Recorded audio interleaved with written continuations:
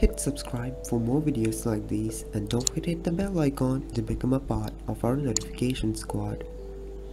In this video, I'll show you the best export settings on Filmora. If you edit your videos and export them and get massive file size, this is the video for you. I'll show you the best export settings for vlogs and for tutorials.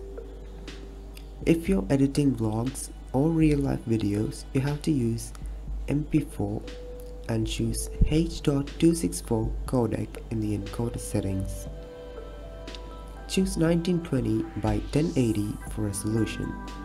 In the frame rate, choose 24 frames per second and choose 8000 as your bitrate. And for audio, use the highest quality available.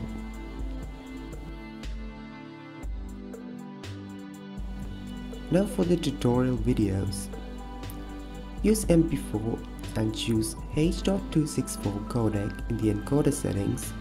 Choose 1920 by 1080 for resolution.